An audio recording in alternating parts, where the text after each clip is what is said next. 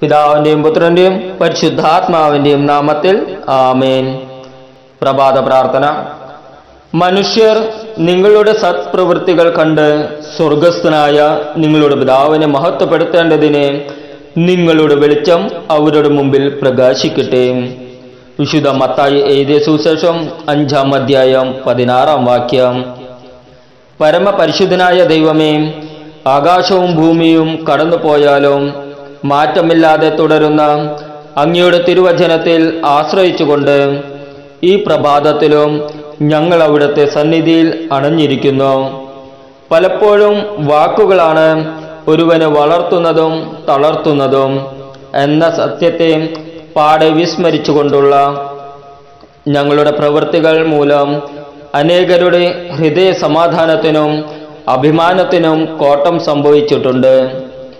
ഒരുവന്റെ ജീവിതത്തിലെ അനിഷ്ട സംഭവങ്ങളും കുറവുകളും അറിഞ്ഞിട്ടും മറ്റൊരാ മറ്റൊരാളോട് പറയാതിരുന്നാൽ ഒരു മനസ്സുഖവുമില്ലാത്തവരാണ് ഞങ്ങളിൽ പലരും. ഞങ്ങളത് പറഞ്ഞാലും ഇല്ലെങ്കിലും എല്ലാവരും അറിയും. പിന്നെ ഞങ്ങളത് പറഞ്ഞെന്ന് കരുതി എന്ത് സംഭവിക്കാൻ എന്ന് ചിന്തിക്കുന്നിടത്ത് നിന്നും ഞങ്ങളിലെ ദുഷ്പ്രേരണകൾ ഉണർന്നു പ്രവർത്തിക്കാൻ തുടങ്ങുകയും അവരന്റെ ജീവിതത്തിലെ സന്തോഷത്തിന്റെ ഇത്തിരി വെട്ടം സമാധാനക്കേടിലേക്കും അപമാന ഭാരത്തിലേക്കും വഴിമാറി സഞ്ചരിക്കാൻ തുടങ്ങുകയും ചെയ്യും.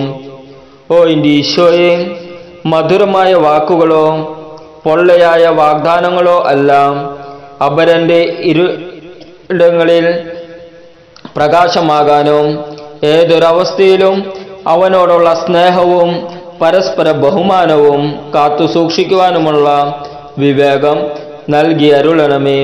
നാഥ തിരികെ ഒന്നും പ്രതീക്ഷിക്കാത്ത ഞങ്ങളുടെ പ്രാർത്ഥനകളും പരസ്നേഹ പ്രവൃത്തിയും കരയുന്ന മറ്റൊരുവനു വേണ്ടി ദൈവസന്നിധിയിൽ ഉയർത്തപ്പെടുന്ന അർത്ഥനയായി പരിണമിക്കുകയും അത് അവർക്ക് ഏറ്റവും സഹായമായിരിക്കുന്ന അനുഗ്രഹമായി വർത്തിക്കുകയും ചെയ്യുവാൻ കൃപ ചെയ്തരുളണമേ.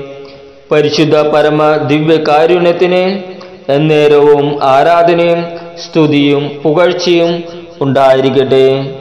ആമേൻ.